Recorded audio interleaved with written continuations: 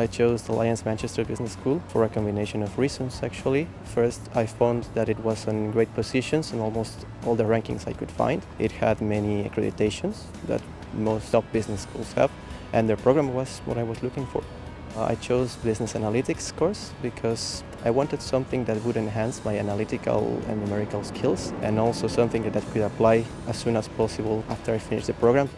I come from Bolivia, so finding out about the university wasn't possible through nearby events, so everything was online. I looked first the program, then Alliance Manchester Business School, then the university and all the videos I could find. Well, the course has allowed me to gain the experience of working with people from many different nationalities, which is something I had never done before. And we had introduction to Python, which at least for me was really useful because I had no previous experience of on coding or on programming, so it came in really handy.